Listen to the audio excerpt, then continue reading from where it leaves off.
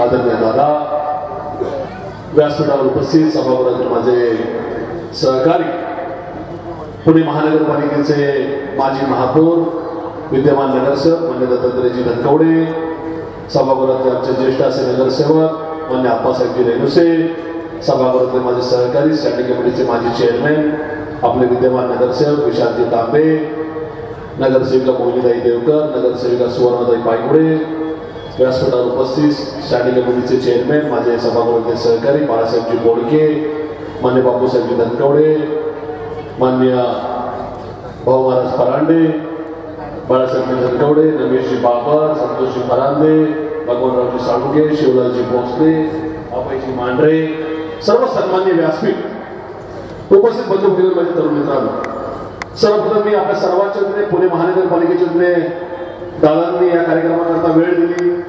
त्याबद्दल मी दादांचे स्वागत सुद्धा करतो आणि या ठिकाणी आभार सुद्धा माझे सभागृहाचे सहकारी विशालजी तांबे आणि त्यांच्या सहकारी मोहिनीताई देवकर यांच्या प्रयत्नाने जी काही विकास कामं उभी राहिलेली आहेत त्याच्या उद्घाटन प्रसंगी दादा आणि आपण सगळे या ठिकाणी उपस्थित आहात. दोन हजार सात साली पुणे महानगरपालिकेच्या निवडणुकीच्या वेळेस. आदरणीय साहेबांनी आदरणीय दादांनी तुम्हा समस्त पुणेकरांना साथ घातली. कारभारी पत्ता या संदर्भातला सूचक संदेश दिला. आपण त्या प्रतिसादाला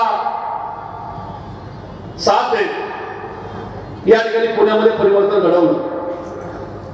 दोन हजार सात साली पहिल्यांदा राष्ट्रवादी काँग्रेस पार्टी पुणे महानगरपालिकेमध्ये सत्ताधारी पक्ष म्हणून या ठिकाणी सत्तेवर आली. नंतर दोन हजार बाराला पुन्हा एक आपण आम्हाला संधी दिली. ही संधी देत असताना शेजारच्या पिंपरी चिंचवडमध्ये तिथल्या नागरिकांनी राष्ट्रवादी काँग्रेस पार्टीला नंबर वनचा पक्ष म्हणून स्वबळावरची सत्ता दिली. तिथे झालेला विकास पुणेकरांनी आणि महाराष्ट्रातल्या भारतातल्या संपूर्ण जनतेने पाहिलेला. या ठिकाणी स्वबळावरची सत्ता नसताना सुद्धा आदरणीय साहेबांचे आदरणीय दादांचे आदरणीय सुप्रियाताईंचे. यांचं मार्गदर्शन घेत असताना या परिसरामध्ये असेल पुणे शहरातल्या चहूबाजूने जो काही भाग आहे याच्यामध्ये चांगल्या पद्धतीने नागरिकांना न्याय देण्याचा विकास करण्याचा प्रयत्न दादाच्या नेतृत्वाखाली राष्ट्रवादी काँग्रेस पार्टीने केलेला आहे. आम्ही मागची दहा वर्ष दादाच्या नेतृत्वाखाली पुणे महानगरपालिकेमध्ये कामकाज करत आहोत. एक गोष्ट निश्चित अभिमानाने आपल्याला सांगावीशी वाटेल. एकोणीसशे पन्नास साली पुणे महानगरपालिकेची स्थापना झाली. दोन हजार सात सालापर्यंत अठ्ठावन्न वर्षामध्ये पुणे महानगरपालिकेने त्यावेळेची जी काही काँग्रेसची सत्ता होती वेगवेगळ्या पक्षांची एकत्रित मिळून सत्ता होती या अठ्ठावन्न वर्षामध्ये पुणे महानगरपालिकेने नव्वद गार्डन्स तयार केले ज्या दिवशी दोन हजार सात साली दादाच्या नेतृत्वाखाली राष्ट्रवादी काँग्रेस पार्टीने पुणे महानगरपालिकेमध्ये कामकाजाला सुरुवात केली. या ठिकाणी मला आपल्याला सांगायला निश्चित अभिमान वाटेल. दहा वर्षात या शहरामध्ये राष्ट्रवादी काँग्रेस पार्टीने नवीन पंच्याऐंशी गार्डन्स तयार केलेली आहे ही राष्ट्रवादी काँग्रेस पार्टीची कामाची उजवी बाजू असं मला वाटतं. जर एखादा पक्षात सत्तावन्न वर्षात अठ्ठावन्न वर्षामध्ये नव्वद गार्डन्स तयार करत असेल आणि या शहरातल्या लोकांचं आरोग्य चांगलं असावं या ठिकाणी चांगल्या पद्धतीचा ऑक्सिजन तयार व्हावा यासाठी राष्ट्रवादी काँग्रेस पार्टी दहा वर्षामध्ये पंच्याऐंशी गार्डन निर्माण करत असेल तर उद्याच्या काळामध्ये सत्ता कोणाच्या ताब्यात द्यायची याचा विचार तुम्ही सगळ्या नागरिकांनी करायचा आहे. या शहरामध्ये सगळ्यात जास्त नाट्यगृह राष्ट्रवादी काँग्रेस पार्टीने उभी केली. महाराष्ट्रामध्ये कुठल्याही शहरामध्ये जेवढी नाट्यगृह नाहीत तेवढी नाट्यगृह महानगरपालिकेच्या मालकीची या दहा वर्षामध्ये उभी राहिलेली आहे. या शहरामधला पाण्याचा प्रश्न असेल ड्रेनेज लाईन विषय असेल स्ट्रॉंग वॉटर लाईन असेल पाण्याच्या टाक्या असतील या सगळ्या पातळीवर फार प्रचंड वेगाने काम करण्याचा प्रयत्न या ठिकाणी दादांनी केलेला आहे. दोन हजार सात साली निवडणुका होण्याच्या अगोदर हे शहर खड्ड्यांच्या संदर्भात भ्रष्टाचाराच्या विविध आरोपांच्या संदर्भामध्ये महाराष्ट्रात भारतामध्ये बदनाम झालेला होता.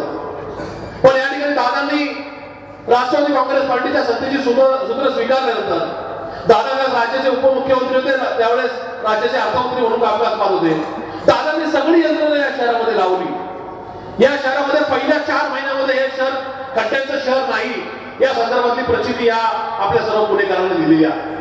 मग ज्या नेत्याच्या हातामध्ये काम करण्याची धमक आहे ज्याचं नेतृत्व त्या ठिकाणी चांगल्या पद्धतीने कसदार आहे अशा ने अशा नेत्याच्या हातामध्ये सूत्र जर राहिली तर शहराचा विकास होऊ शकतो. हा संदेश हा ही सगळी कृती पुणेकरांनी पाहिलेली आहे. त्याच्यामुळे उद्याच्या काळात तुम्ही चांगल्या पद्धतीने निर्णय घेताल या बाबतीत माझ्या मनात निर्मात्र शंका नाही. आपला पाण्याचा प्रश्न या ठिकाणी वडगावच्या जलशुद्धीकरण प्रकल्प प्रकरणाच्या माध्यमातून त्या प्रकल्पाच्या माध्यमातून दत्त भाऊ असतील विशालचे असतील आमच्या सगळ्या सहकारी दादाच्या नेतृत्वाने जोडण्याचा प्रयत्न केलेला आहे. मला आज वेळेची मर्यादा. मला एक तुम्हाला मुद्दा या ठिकाणी सांगायचा पुणे महानगरपालिकेमध्ये दोन हजार सात साली राष्ट्रवादी काँग्रेस पार्टी सत्तेवर आली. दोन हजार चार ते दोन हजार चौदा या काळामध्ये राज्याचे अर्थमंत्री म्हणून उपमुख्यमंत्री म्हणून दादांनी या ठिकाणी आमचं नेतृत्व केलेलं आहे. त्यावेळेस देशाचे कृषी मंत्री म्हणून आदरणीय पवारसाहेब कामकाज पाहत होते. जेणेकरूनची योजना आली.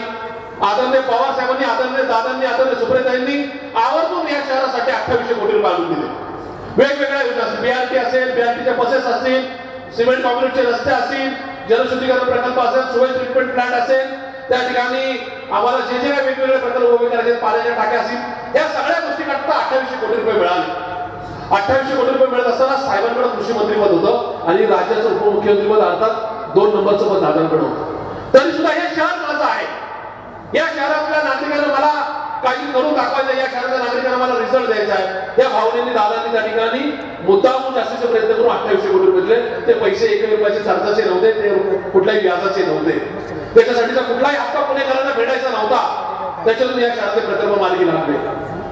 हे होत असताना दोन हजार चौदा साली सत्ता परिवर्तन झालं. पुणेकरांनी महाराष्ट्रातल्या नागरिकांनी भारतातल्या नागरिकांनी चुकीच्या प्रचाराला विखारी प्रचाराला बळी जाऊन त्या ठिकाणी सत्ता परिवर्तन केलं. पुण्यातले आठही आमदार आपण भाजपचे निवडून दिले. पुण्याचा खासदार त्या ठिकाणी आपण भाजपचा निवडून दिला. राज्यामध्ये भाजपचे मुख्यमंत्री आले. देशाचे प्रधानमंत्री भाजपचे झाले. सगळ्यांना वाटलं रामराज्य येणार आहे. सगळ्यांना वाटलं आमदार आमच्या भागात राहतात. आमचा प्रश्न सुटला. आता आम्हाला आनंदी आनंद झालेला आहे. ज्या पक्षाचा मुख्यमंत्री या राज्यामध्ये आहे ज्या पक्षाचा प्रधानमंत्री या पक्षाचा आहे. त्या पक्षाने तुम्हाला काय दिलंय याचा हिशोब द्यायला मी या ठिकाणी आलेला आहे. राज्याचं दोन नंबरचं पद. त्या ठिकाणी सुडाचं राजकारण करणारे मुख्यमंत्री राज्यात असताना सुद्धा. या ठिकाणी दादांनी अर्थमंत्री म्हणून उपमुख्यमंत्री म्हणून या राज्याला जे काय प्रस्ताव पुढे पाठवायचे ते त्याच्या माध्यमातून या शहराला अठ्ठावीसशे कोटी रुपये मिळून दिले. तुम्हाला आश्चर्य वाटेल. तुम्ही आठ आमदारच्या पक्षाच्या या शहरामध्ये निवडून दिले तर भूतोला भविष्यातील स्वातंत्र्यानंतर कधीही एवढे आमदार कुठल्या पक्षात झाले नाही ते आमदार तुम्ही निवडून दिले. तरी सुद्धा या पुण्याला काय मिळालं तुम्हाला असं वाटत असेल जर दादांनी या शहराला अठ्ठावीसशे कोटी रुपये दिले असतील दादांकडे जर उपमुख्यमंत्री पद असून तर ज्या शहराने आज आमदार दिले त्या त्या राज्याच्या मुख्यमंत्र्यांनी तुम्हाला किती पैसे दिले असेल मी भाषण करत तुम्हाला असं वाटत असेल साधारणतः साडेपाच सहा हजार कोटी रुपये दिले असेल तर बिलकुल नाही.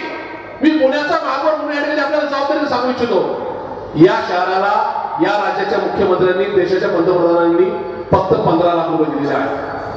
पावणे तीन वर्षामध्ये तुम्हाला पुणेकरांना फक्त पंधरा लाख रुपये राज्याकडून केंद्राकडून मिळालेले आहे आता तुम्हाला ठरवायचं आहे सत्ता कुणाच्या ताब्यात द्यायची आहे?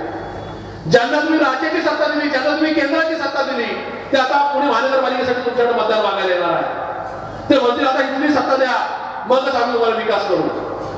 घोषणा करणाऱ्यांना फसवणाऱ्यांना प्रवचन करणाऱ्यांना तुम्हाला मतदान करायचंय का? याचा विचार तुम्ही करायचा. इथं बसणारे माझ्या समोरचे ज्येष्ठ नागरिक आहेत. घरातला कर्ता पुरुष चांगला असेल कर्त्या पुरुषाला आपल्या घरासंदर्भातील चांगली भावना असेल घरातली मुलं त्या ठिकाणची आमची माय भगिनी सुरक्षित राहावी घर चांगलं चालावं अशी भावना ज्या कर्त्या पुरुषाच्या मनात असती त्या घराचं कल्याण होतं. जर कर्ता पुरुष चुकीचा निवडला गेला तर त्या ठिकाणी घराचा खेळ खंडोबा झाल्याशिवाय राहत नाही. आज जे कर्ती पुरुष तुमच्या राज्यामध्ये देशामध्ये बसलेले आहेत त्यांना तुमच्याबद्दलचा बिलकुल ती आपण आपणपणाची किंवा आपुलकीची भावना नाही. तुम्हाला उद्या ठरवायचे माझ्या तरुण मित्रांना विनंती आहे. व्हॉट्सअप फेसबुक ट्विटरच्या माध्यमातून तुम्ही सोशल नेटवर्कचा वापर करता. जरूर करावा. पुण्याचा वापर म्हणून मी सुद्धा करतो. दादा सुद्धा करतात. आमचे सगळे सहकारी या ठिकाणी सोशल नेटवर्कचा वापर करतात. मग तो चांगल्यासाठी असावा.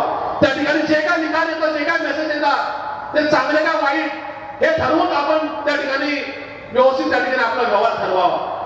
या ठिकाणी दोन हजार चौदा साली जे काही विषारी प्रकार विखारी किंवा विषारी प्रचार झाले त्याला बळी पाडून आपण दोन हजार चौदाच्या लोकसभा विधानसभा निवडणुकीमध्ये त्या ठिकाणी सत्ता बदल केला.